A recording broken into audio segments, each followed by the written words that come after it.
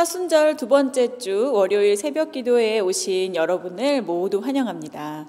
이 시간 예배당과 각 가정에서 어, 이 예배에 참여하시는 여러분 모두 우리가 말씀과 기도와 찬양 가운데 하나님의 은총 함께 하시는 시간 되시기를 바랍니다.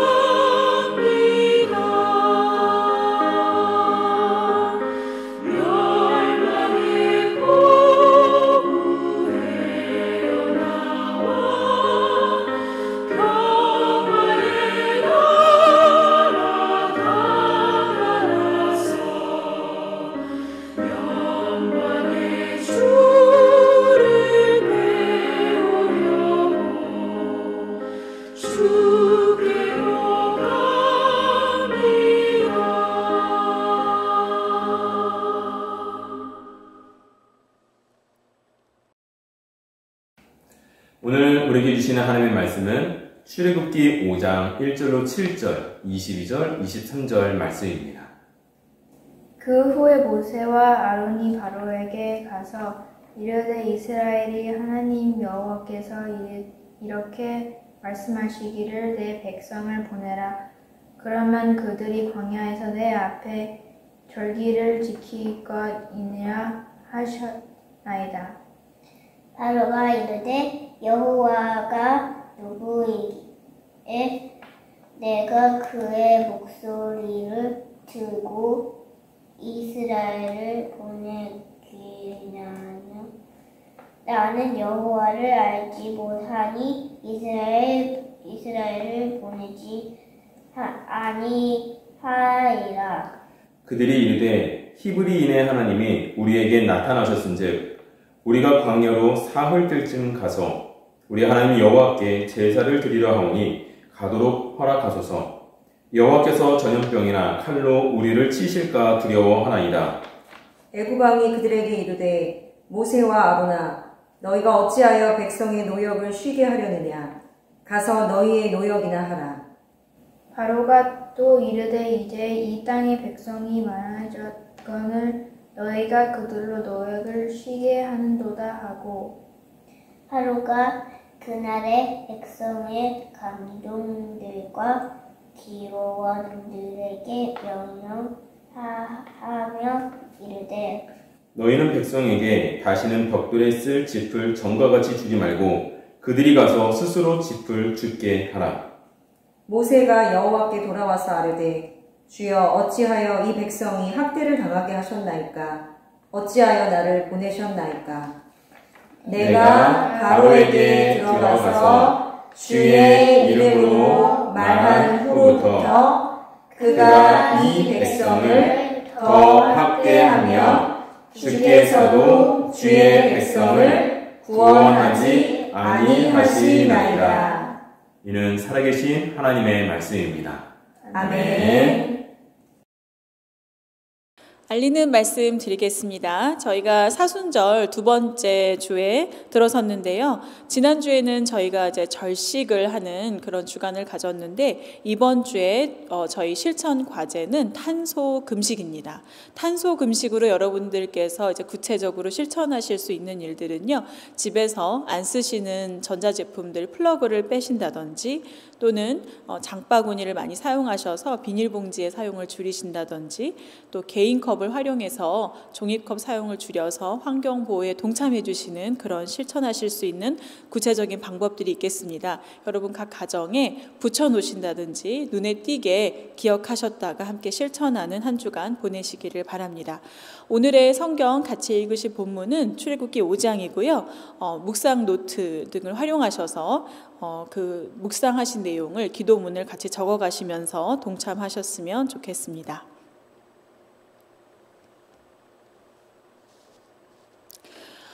오늘 5장 말씀은 드디어 모세가 아론과 함께 바로 앞에 서는 그런 장면으로 시작하고 있습니다. 오늘의 말씀은 하나님이 당신의 뜻대로 그의 역사를 이루어가시는 것과 사람이 그 가운데에서 하나님 앞에 부르심을 받고 쓰임을 받았을 때 하나님 앞에서 그 받은 사명에 대해서 어떻게 반응하는지 그 두 가지 하나님의 역사와 하나님 앞에 그 사명을 받든 모세의 모습의 갈등 상황이 잘 묘사되어 있는데요. 어, 모세의 모습을 보면 굉장히 당당하게 그 애굽의 왕 된 바로 앞에 서 있는 장면이지만 사실은 우리가 이제 3장, 4장을 통해서 하나님께서 모세를 어떻게 부르셨는지 그 과정을 같이 묵상하면서 보아서 모세의 모습을 저희가 잘 알고 있습니다. 모세가 하나님께서 모세를 부르셨을 때 곧바로 하나님께 응답하며 순종하며 네 주님 제가 주님께서 말씀하신 대로 주님의 말씀을 붙들고 나아가겠습니다. 이렇게 하였던 모습이 아니었죠. 네, 굉장히 하나님 앞에서 주저하고 다시 묻고 또 망설이고 그러기를 반복했던 모세의 모습이었습니다. 3장 11절 말씀에 보면 모세는 내가 누구이기에 바로에게 가서 이스라엘 자손을 애굽에서 인도하여 내리까 내가 누구기에 그런 일을 할 수 있겠습니까? 라고 하나님께 자기 자신에 대해서 먼저 의문을 제기합니다. 그러자 하나님께서는 내가 반드시 너와 함께 있으리라 라고 말씀을 하셨고요. 하나님 자신에 대해서 이스라엘의 조상의 하나님, 아브라함의 하나님, 야곱의 하나님, 어, 아브라함의 하나님, 이삭의 하나님, 야곱의 하나님이라고 자기를 드러내며 알려주시지 않았습니까? 그러자 또 이제 모세는 어, 히브리 사람들 앞에서 자신의 리더십에 대해서 염려를 합니다. 내가 하나, 사람들 앞에 가서 이렇게 하나님의 말씀을 전했을 때 그들이 저를 뭐라고 생각하고 저를 믿겠습니까? 그러자 하나님께서는 모세에게 이적을 통해서 하나님이 어, 모세를 통해 말씀하시는 것을 증거로 삼을 것을 알려주셨죠. 그래서 지팡이로 뱀이 되게 하는 이적을 또 보여주셨고 모세의 한 손이 이렇게 집어 넣었다가 빼면 나병에 걸린 손이 됐다가 다시 집어 넣었다가 빼면 다시 온전해지는 손이 되는 그런 기적들을 보여주셨고요. 이 두 가지조차 백성들이 믿지 않았을 때 나일강의 물을 떠다가 쏟으면 그 물이 피가 되게 될 것이다 라는 재차 3차 이렇게 하나님께서 기적을 통하여서 사람들 앞에 모세의 리더십을 세워줄 것을 말씀하셨습니다. 그러면 자기 자신에 대해서 확신하고 사람들 앞에서의 자신의 모습을 하나님이 세워주신다고 하셨는데 모세는 여기서 또 그치지 않았죠. 자신이 언변이 부족하다. 말솜씨가 없는 사람이다. 라고 말씀드리자 하나님은 너의 입에 내가 함께한다. 네가 할 말을 내가 알려주겠다.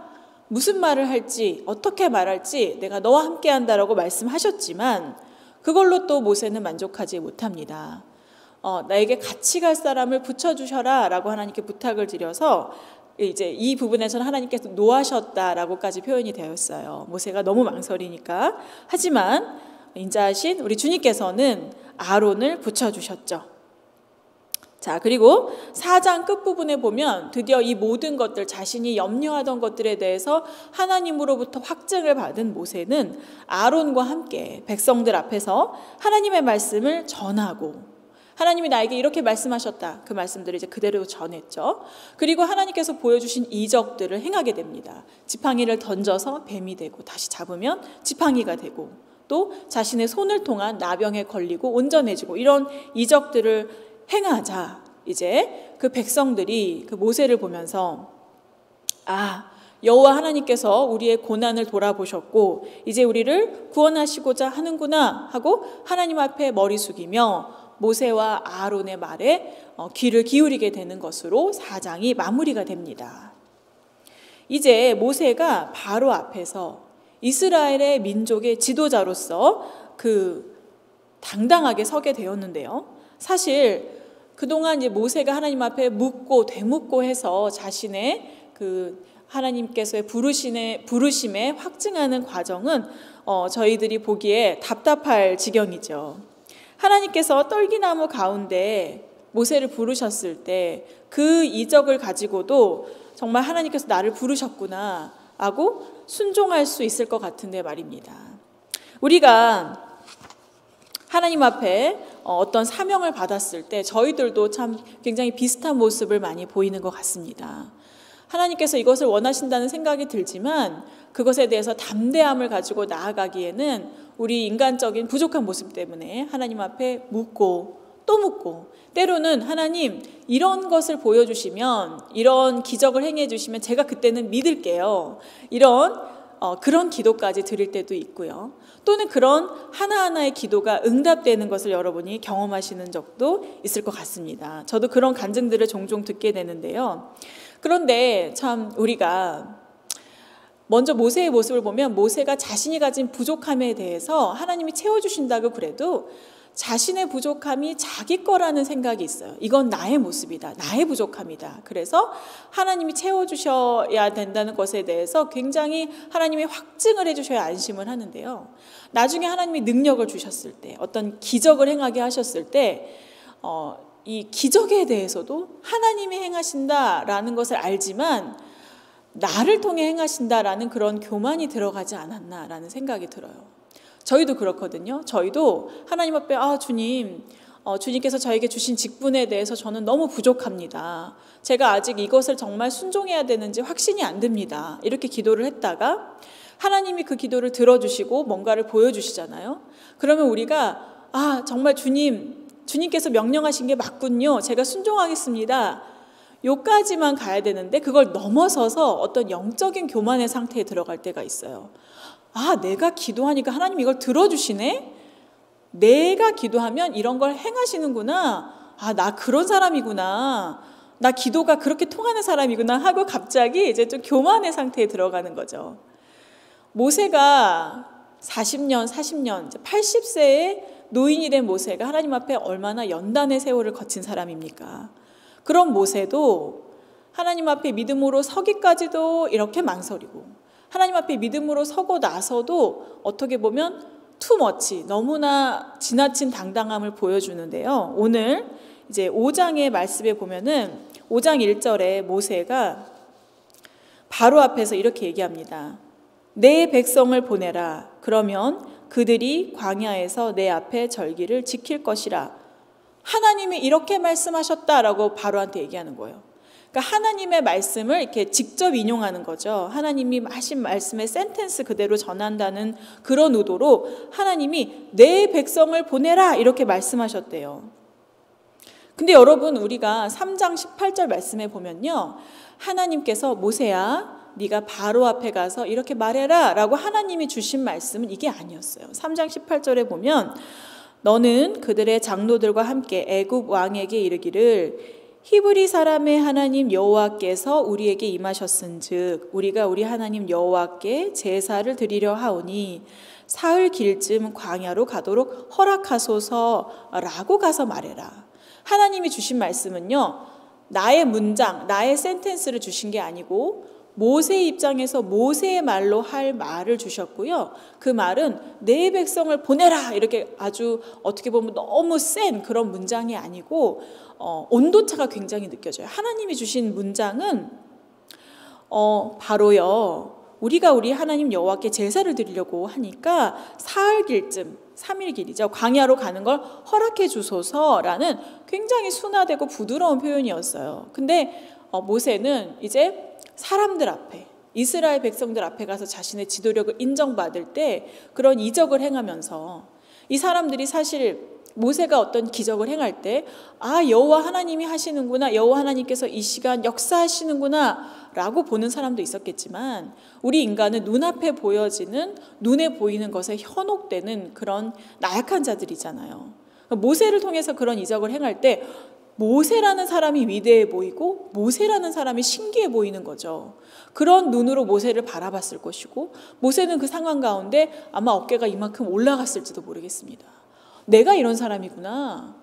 하나님이 나에게 권세를 주셨다가 아니라 내가 이런 것을 할 수 있는 사람이 됐구나라고 자아가 높아졌을지 모르겠어요. 그래서 바로 앞에 갔을 때 그 당당함이 이어져서 하나님이 주신 말씀을 고지 곧대로 하나하나 순종하기에 신경 쓰기보다는 그 기세 당당함을 가지고 가서 내 백성을 보내라 여호와 하나님이 이렇게 말씀하셨다라고 그렇게 너무 당차게 얘기할 수 있었던 것이죠. 물론 바로가 이 모세가 하나님이 주신 말씀을 순화된 말씀을 그대로 전했다 한다 하더라도 바로가 순수히 뭐 백성을 내준다든지 그게 결과가 달라지지는 않았을 거예요. 하나님께서 모세를 통해 말씀하실 때 이미 바로는 바로 그 말을 들어주지 않을 것이다. 그리고 하나님께서 여러 가지 어, 그 백성을 애굽의 백성을 치시는 이적을 행하셔야 그제야 말을 들을 것이라는 것을 미리 다 알려주셨습니다. 그래서 바로가 뭐 달라졌을 것이다. 그런 걸 보는 것은 아니고요. 모세의 행동을 보는 것이죠. 믿음이 없을 때 하나님이 주신 소명을 믿지 못할 때에 두 번, 세 번 확인하던 모세의 모습과 이제 하나님이 능력을 주셨을 때 그 능력이 마치 자신의 것인 양 의기양양하게 행하는 모세의 모습에서 저희들의 모습을 투영해 볼 수 있는 것이죠. 우리가 하나님 앞에 소명을 받아서 능력을 받았을 때 하나님이 그냥 소명을 주시지 않거든요. 우리가 뭐 아이에게 심부름을 시켜도 심부름을 할 수 있는 돈을 주지 않습니까? 하나님께서 모세를 세우실 때 모세에게 그 일을 감당할 수 있는 사람들 앞에 리더십을 행할 수 있는 능력을 주시는데요. 우리가 주님 앞에 연단이 부족하고 믿음이 부족하면 그 능력이 나의 것인 양 착각을 하게 돼요. 그래서 나의 부족함도 정말 나 자신의 부족함, 내가 없는 것. 그래서 하나님이 아무리 용기를 주시고 내가 너와 함께 한다 해도 믿지 못하고요. 우리가 어떤 능력을 주시고 부어주셨을 때 그 능력도 내 거라고 착각을 해요. 그래서 주님께 영광을 돌리기보다는 그 영광을 내가 차지하며 영적인 교만에 들어가는 것이죠. 자, 이제 바로가 뭐라고 대답을 하나요? 2절에 보면 여호와가 누구이기에 내가 그의 목소리를 듣고 이스라엘을 보내겠느냐? 나는 여호와를 알지 못하니 이스라엘을 보내지 아니하리라라고 대답합니다. 바로 입장에서는 어떻게 보면 정말 당연한 반응이라고 여겨집니다. 그리고 모세의 그 당당함에 바로가 더 분이 났는지 이제 바로는 어, 더 심한 더 가중한 노역을 이스라엘 사람들에게 하게 되는데요. 모세는 이런 바로의 반응에 겁이 남는지 3절에 보면은 그제서야 하나님이 일러주신 문장 그 3장 18절에 있는 문장을 그대로 얘기를 하는데 이미 바로는 분이 났습니다. 그래서 모세와 아론에게 오히려 모세야 아론아 가서 너네 할 일이나 해라. 너희 노역이나 해라라고 얘기하면서 이 이스라엘 백성들이 수가 더해지고 강력해지더니 정말 살만한가 보나? 어, 살만한가 보구나. 이 노역들이 감당할 만한가 보구나. 어, 이 사람들을 이렇게 두면 안 되겠다 하면서 그 전에 이제 벽돌을 만들어내는 일을 할 때 짚을 넣어서 이 벽돌을 더 공고하게 하는가 봅니다. 그래서 이제 짚이라는 재료가 주어지는 것이죠. 당연히 물건을 만들 때 그 재료가 있어야 그것을 그 노역을 해낼 수 있지 않습니까? 그런데 바로가 이제 그 짚을 주지 않겠다. 그런데 여전히 벽돌의 퀄리티는 그 짚이 들어가는 그런 벽돌을 구워내야 하고 짚이라는 재료를 너희들이 알아서 해라라고 이스라엘 백성들을 더 심한 노역을 주게 되는 것이죠. 그래서 예를 들어 하루에 100장의 벽돌을 만들어냈으면 똑같이 100장을 그대로 만들어내는데 재료를 주지 않는 거예요. 짚을. 그러면 사람들이 이스라엘 백성들이 가서 흩어져 가지고 성경 말씀에 보면 애굽 전역에 가서 그 짚을 주었다라는 말씀이 나오는데 자기들이 알아서 그 짚을 주어 와서 재료를 해결해야 되는 것이죠. 그 당시에 요즘처럼 무슨 자동차가 있었겠어요? 트럭이 있었겠어요? 사람들이 그곳으로 이동해서 흩어져서 재료를 구하는 시간, 그리고 그것을 모아서 묶어서 다시 날라서 오는 시간, 아침부터 저녁까지 벽돌에 이 사람들이 쓰는 시간들이 정해져 있었을 것인데 자기들이 엑스트라로 더 시간과 노력과 힘을 들여가지고 그 짚을 가져오는 문제를 해결하도록 한 것입니다. 그러니 이전과 똑같은 그런 생산 기록을 낼 수가 없었겠죠. 그래서 이 이스라엘 사람들의 노역을 관장하던 감독관들과 어, 또 기록원들이 있었는데 어, 성경에 정확하게 나와 있지는 않지만 이제 감독관의 지위가 더 높고 기록원이 더 낮지만 둘 다 이제 어, 이 사람들을 관장하는 위치에 있었다는 걸 우리가 짐작해 볼 수 있어요. 근데 이 감독관들은 히브리 사람들은 없었던 것 같아요. 애굽 사람들로만 되어 있었던 것 같은데 이 감독관들이 기록원들을 때립니다. 때리면서 왜 너희들이 똑같은 생산량을 못 맞추냐. 근데 이제 그 기록원들 중에서 나름의 관직을 가진 사람들이죠. 그 기록원들 중에서는 어, 이스라엘 출신의 사람들이 있었어요. 히브리 사람들. 그래서 그 사람들이 자기 민족의 억울함에 대해서 이제 화가 난 거죠. 그래서 그 사람들이 모여서 바로 앞에 갑니다. 그래서 바로한테 따져요. 왜 어, 우리에게 똑같은 생산의 벽돌을 해내라고 합니까? 이게 말이 됩니까? 이것은 당신의 백성들의 잘못이다. 즉 애굽의 백성들의 잘못이다라면서 바로에게 자신들이 너무나 억울하다라는 걸 토로하는데 바로에게 돌아오는 말은 아 너희가 정말 말도 안 되는 처사를 겪고 있구나 이런 게 아니고 바로는 게으르다 게으르다 이렇게 오히려 너희가 그동안 살만했구나 하는 그 분노를 그들에게 그대로 기록원들에게 이야기를 하죠. 그리고 너희는 가서 반드시 벽돌 한 장 빠지지 않게 전과 똑같은 생산량을 해내야 된다라고 기록원들을 몰아붙입니다. 그래서 그 사람들이 상황 파악을 하고 돌아가는 길에 모세와 아론을 만나게 돼요. 그리고 그 사람들에게 이제 따지는 거죠. 모세와 아론이요. 하나님께서 우리를 구원한다고 하지 않았습니까?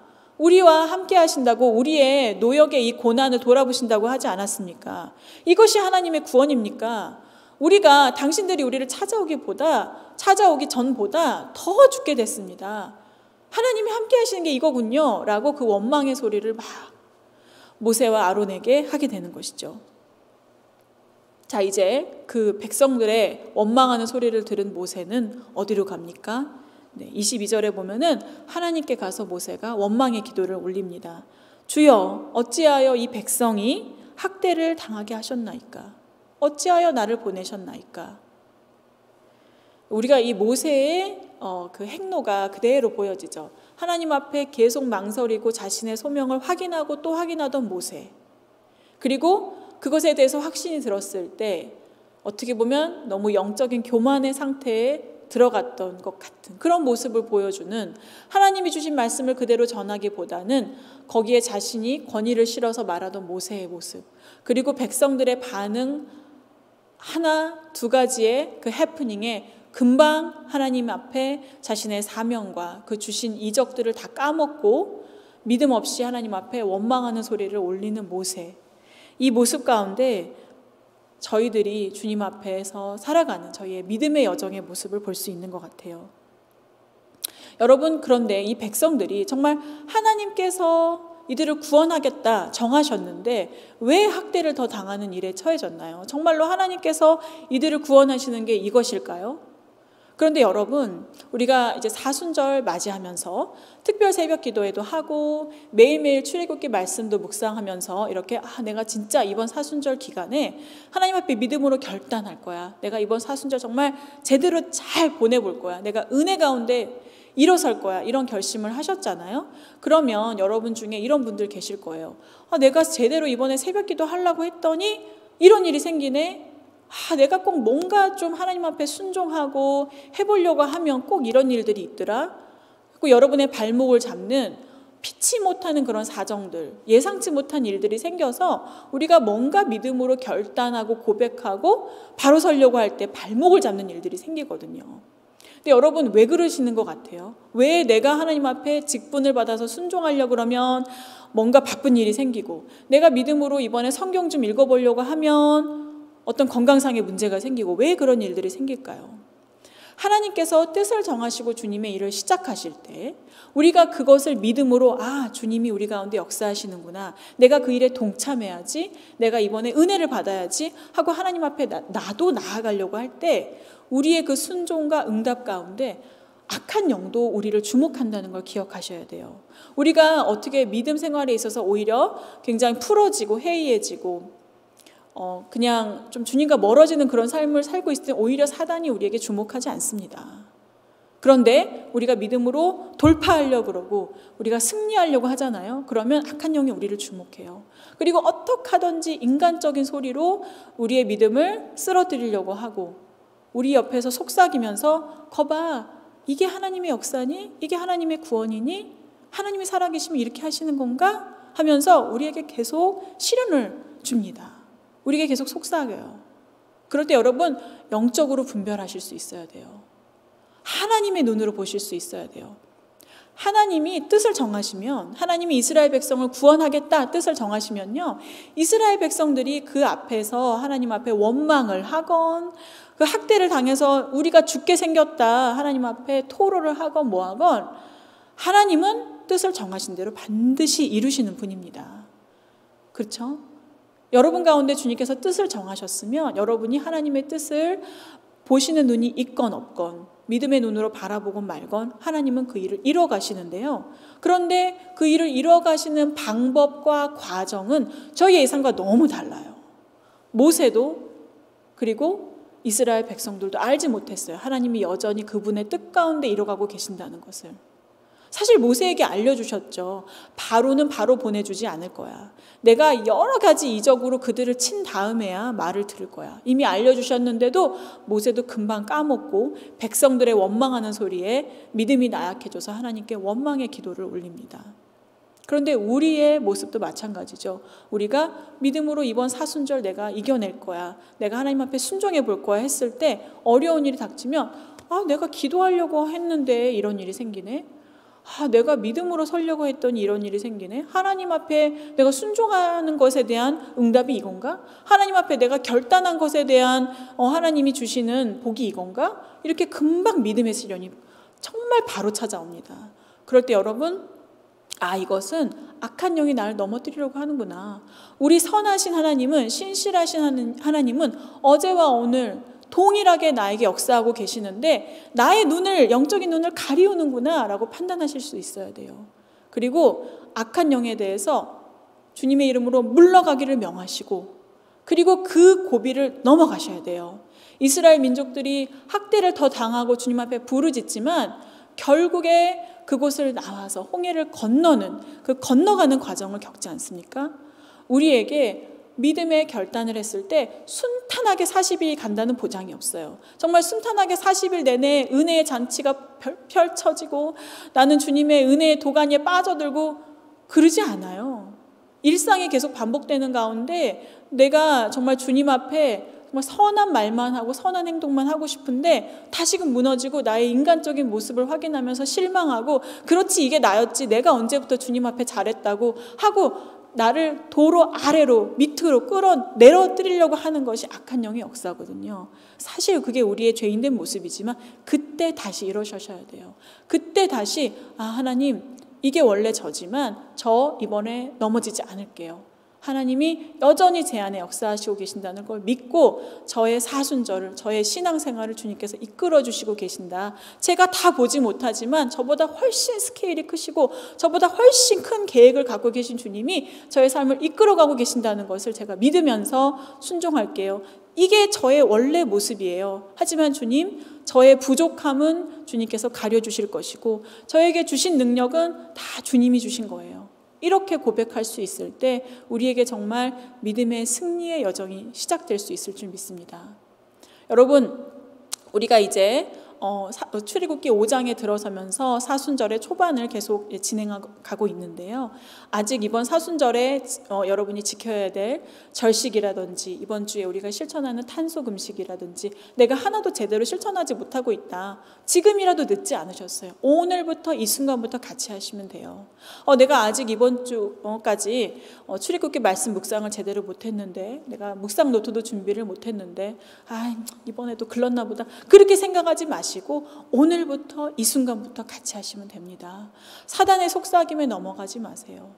하나님 이게 주님이 하시는 구, 어? 구원입니까?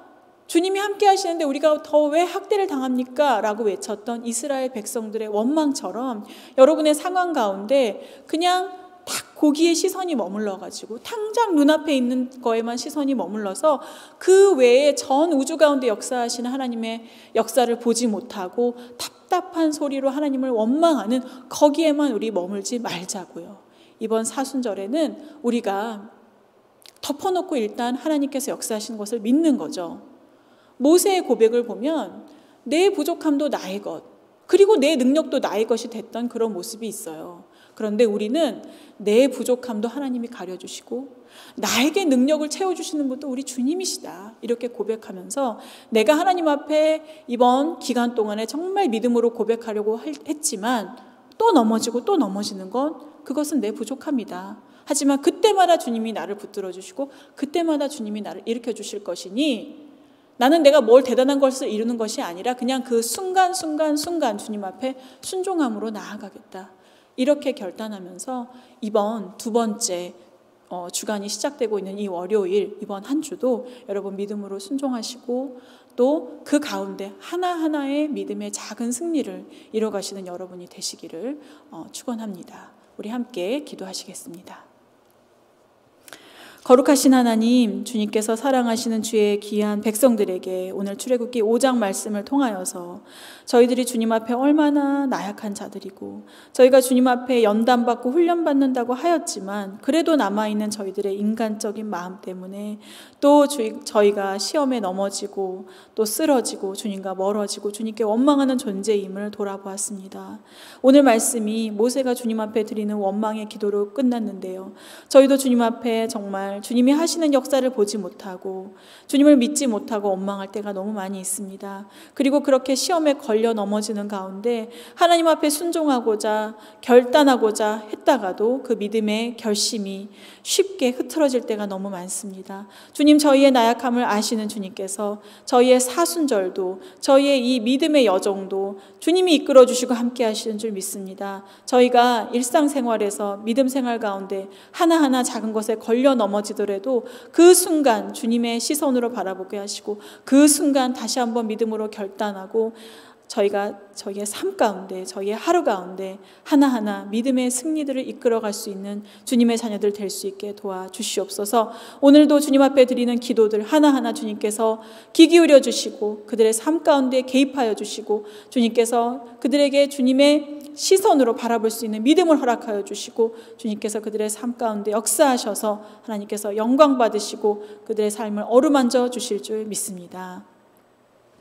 이제는 우리와 늘 함께 하시는 우리 주 예수 그리스도의 은혜와 우리를 한없이 사랑하시는 하나님의 사랑하심과 성령의 감화 감동 교통하심이 오늘 주님 앞에 믿음으로 하나하나의 작은 순종을 올리기로 결단하고 나아가는 주의 귀한 백성들에게 이제부터 영원까지 함께 하시기를 간절히 축원하옵나이다. 아멘.